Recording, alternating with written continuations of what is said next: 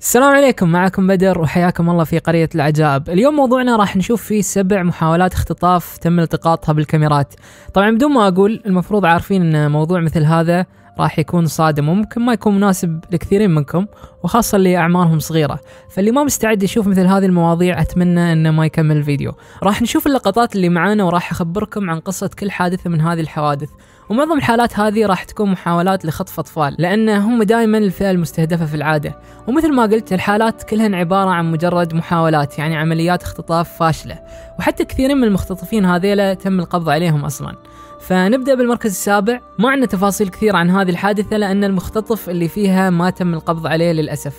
الشيء اللي يخوف هالحالة أن المختطف حاول يختطف الطفل بهدوء وبدون ما ينتبه عليه حد مع أنه ما كانت جنبه يعني الرجل هذا كبير في السن مثل ما تشوفون في الفيديو. فشاف الولد الصغير تأخر عن أمه بشوية خطوات وهم داخلين واحدة من المولات أو واحدة من الأسواق اللي داخل المول. وأول ما لاحظ أنه انفصل عن أمه شوي بس راح وحاول إنه يمسك إيده ويمشيه معاه بكل هدوء. بس الحمد لله إن أمه انتبهت عليه في آخر لحظة.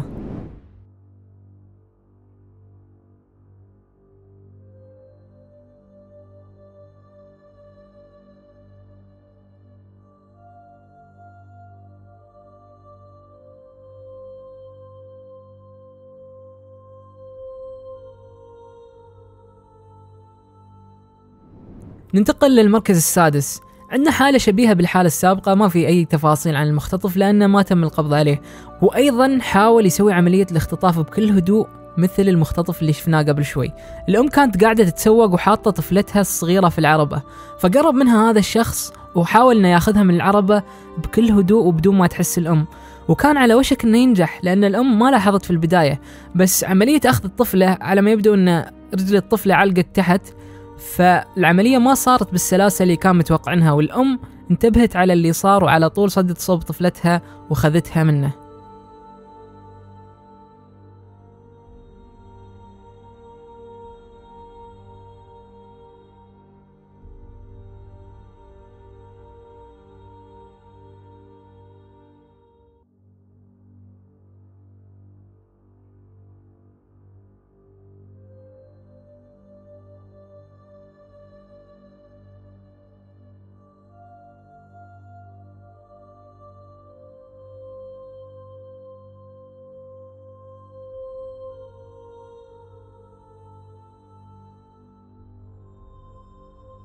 لو لاحظت في نهاية الفيديو المجرم هذا حتى بعد ما انتبهت الأم وخذت الطفلة منها قاعد شوي يطالع فيهم وتقول الأم إنه مد إيده على بطن الطفلة كأنه يدغدغها وخاطب الطفلة وقالها إنه حاول يختطفها لما أمها ما كانت تشوف بس ما نجح.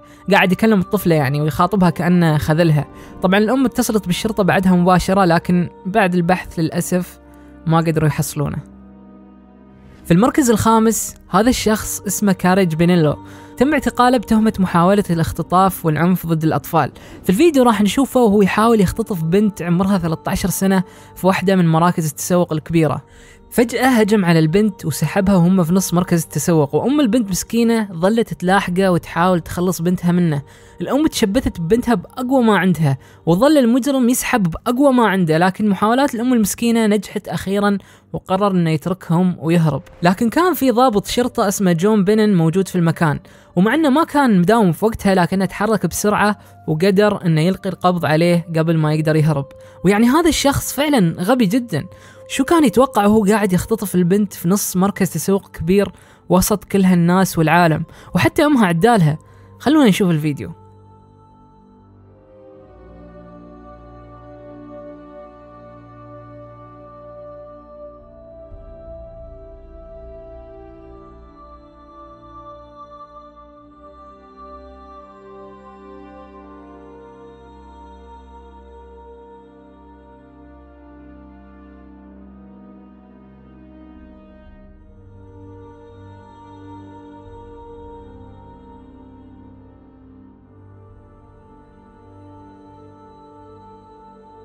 بعد ما ألقوا القبض عليه اكتشفوا أن له سوابق كثيرة والمحامي ماله طبعا حاول يدافع عنه بحجة أنه مريض عقليا وعنده مشاكل نفسية. وبعد ما تم فحصه من أكثر من دكتور قررت المحكمة أنها تحوله على مصحة عقلية فعلا.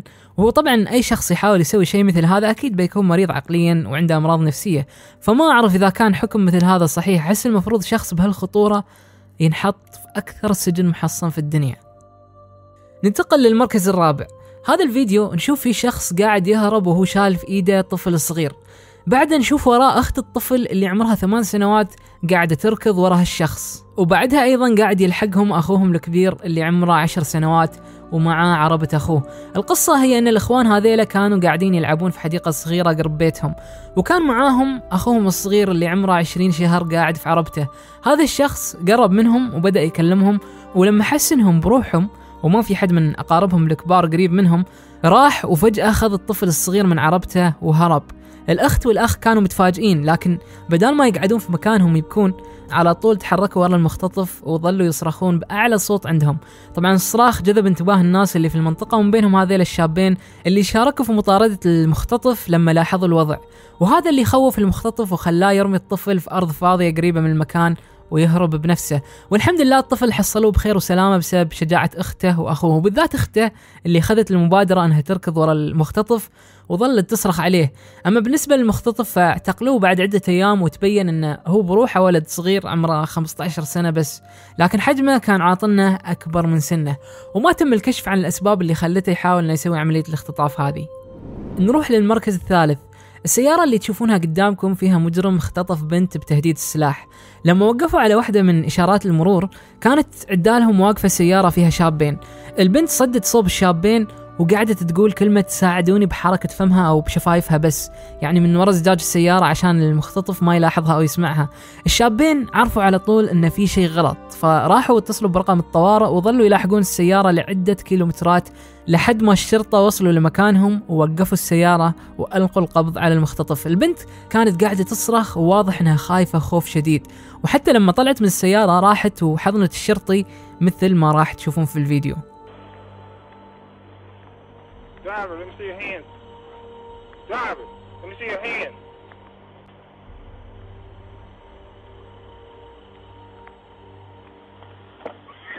Step out. Step out. Step out. Put your hands on top of the car. Put your hands behind your back. What he's doing is walking around.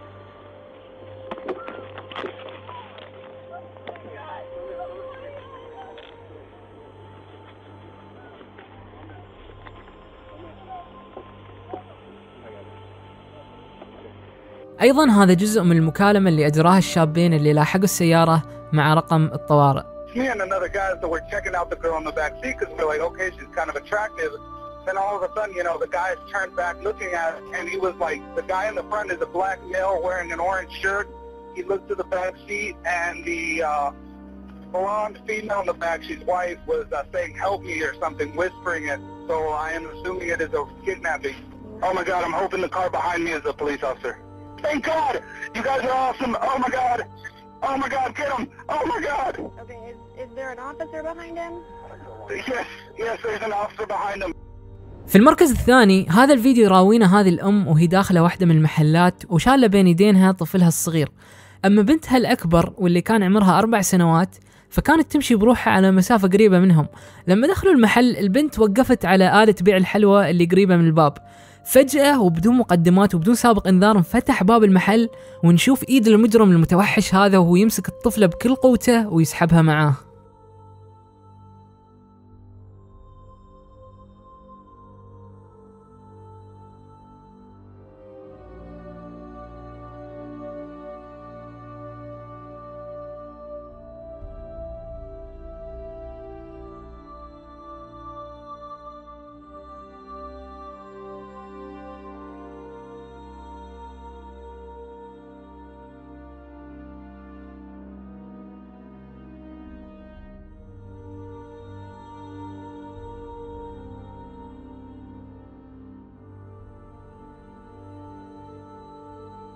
المجرم اللي كان اسمه تيري رانسوم ما لحق يروح بعيد.